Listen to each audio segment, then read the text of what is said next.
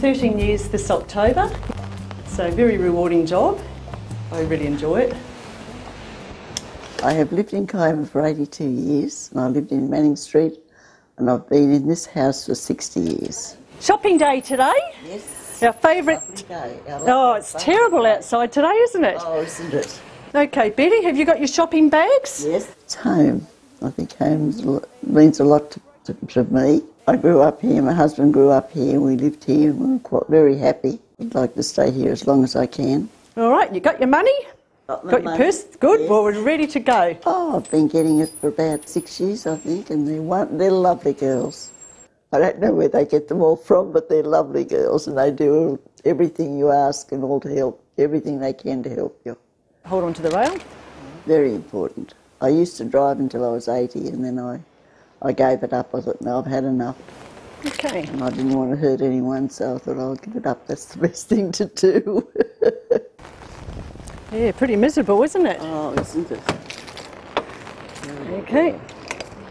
On a normal day, I see roughly around about four clients on average, and the work depends on each of their needs. It could be personal care, they may need a little bit of assistance in showering. Knock, knock. Hi, Amos. Hello, how are you? Other times they like to be independent and they can shower themselves.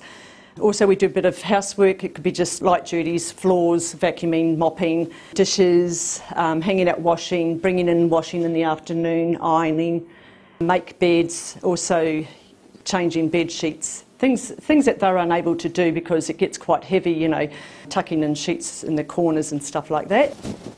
We do have regular clients. Um, I'm mainly concentrated around Kiama because I'm a Kiama girl, so they try and keep us within our district. So have you got your shopping list? Yes.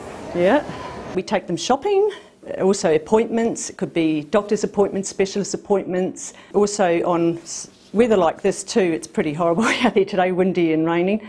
Some of our clients may just ask us to do the shopping for them and um, so they'll just give us a list. What else do we need from the fruit and veggie section? So we've got tomatoes and bananas. We do meal prep, so we may come in the morning and do a light breakfast, toast, cereal, tea. Also, we do nighttime meals, so we might heat up a Meals on Wheels for them, put on the plate, or we could do a light cooked meal like rissoles, sausages, mince and stuff like that. Yes. You know, know, local people that you yes. know, and we have a bit of a tin wag, don't we?